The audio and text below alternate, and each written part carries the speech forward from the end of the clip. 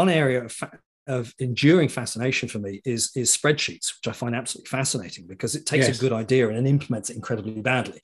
Yeah. Um, um, uh, in the sense of vision, people find grid forms. It's very very intuitive. There's there's you know I mean, what kid doesn't like squared paper? You know this, this kind of stuff. It's like we like laying things out in grids and tables and all the rest of it. This is incredibly intuitive, and it's it's a very to be fair, to be fair, model. that might just be you and me. That's true. Yeah, yeah. This might be a conversation just the two of us. Obviously, anybody else in the comments is free to add in, but you know, it's, it, this whole thing like is incredibly intuitive at that level. But the problem is there are two very fundamental issues that uh, that scupper um, spreadsheets and make them massively error prone.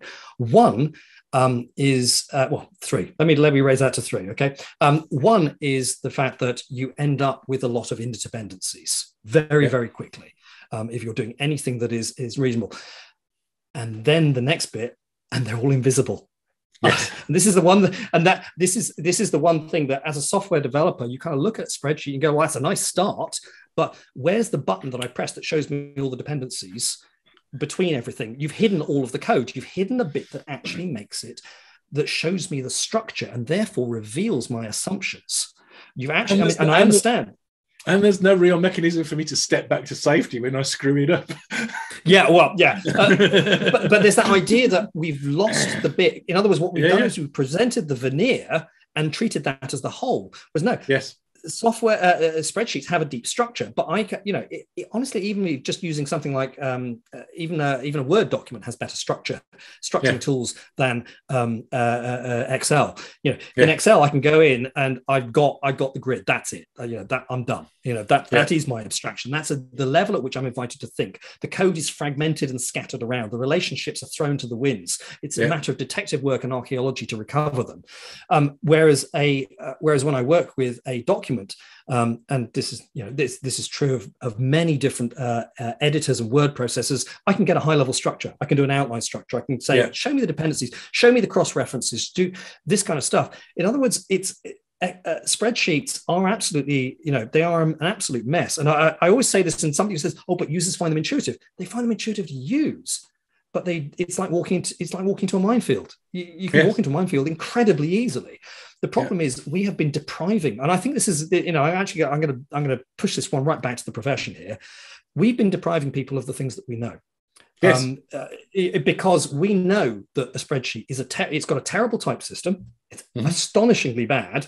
Um, and if anybody ever throws up the argument of backward compatibility, that is absolute nonsense. We've actually seen formats for um, uh, documents change on a five to 10 year cycle. Yeah. Um, there's no backward compatibility issue here at all with things like Excel. That's a myth. Um, you know, you're looking at a five-year window at most. Explain to me why it is that my, my Excel looks like it was developed 30 years ago, but everything else that I'm using looks like it was developed in at least the last decade. Yeah. Why why has Excel failed to take on board all of these other tools that we know to show dependencies? And the third thing to come back to is that people don't realize that there are these issues. So they therefore they they, they scale up very uh, very very poorly. They they embed many mistakes. Now the point here is what the reason i'm riffing on this is because you talked about the low code stuff. Mhm. spreadsheets are by far and away the world's most successful low code to no code solution. And, and anybody who hopes to rival that is just kidding themselves. Um, i'm going to say that right now you know i'm not predicting the future. It's just like those hit a very particular stride. They have embedded themselves in a particular way um, in a in a in a particular world, and they've uh, and they're very current. They are u- ubiquitous. But if anybody wants to learn how um, to do and how not to do, learn from its successes and learn from its failures, and what are the things that it's good at and not good at, um, and then also go back through the history of 4GLs. Um, and what you'll discover is that you what there's a there's a there's a line that you're looking to draw and you need to understand that it's not universal. There's a line here. You need to work out where it is. It's like this is the bit that allows people the convenience they want, and then there's this other bit that's incredibly hard.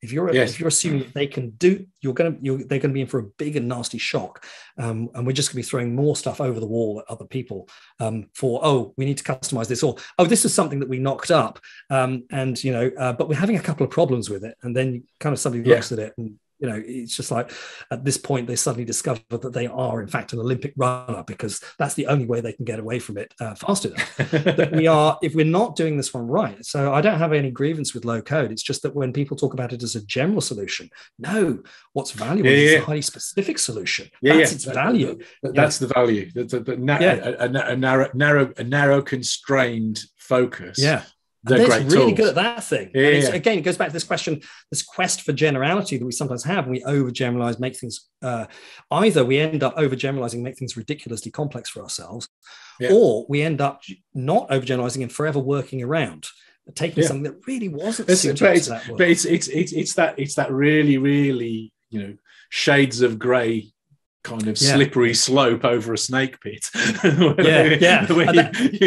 you, are mixing my metaphors horribly, but but but you you kind you kind of go from you know I'm adding up a column of numbers in my spreadsheet. Cool, that's really nice. It's really good for that. To uh, you know I've built this thing, and if I change that, it goes and recalculates all of these other things and does all this you know which is an unmaintainable big ball of mud and. Yeah you know there's there's it's, no there's no easy way to define the line between between where you yeah. step over and it becomes yeah don't this do that right into the room code. with lego bricks yeah, it is. is yeah, yeah, to, absolutely. You know, you, you, it's just like you tread carefully, put push push your foot out just in front yeah. of you, just to. And I think that that is the again that feeds back into this idea that what we're looking for is is is an approach, a, a philosophical um, approach, but a practical approach. I mean, uh, it, it, you know, I'm definitely of the school of thought that um, uh, I guess, old school philosophy in the sense that philosophy was intended to be a practical thing to, yeah. to help you understand life. It was not intended to be abstract and disconnected from life. It, it was intended to be quite the opposite. So for me, this idea of actually what we want from how we think about software we need a we need to understand is like yeah it's a bit experimental um, there's there's there's there's things that are unknown and actually not only is that okay, but that's actually part of the job. It's not just acceptable. Yes. It, it, it, it's, no, the it is the job. It, it is, it is the, job. The yeah. job.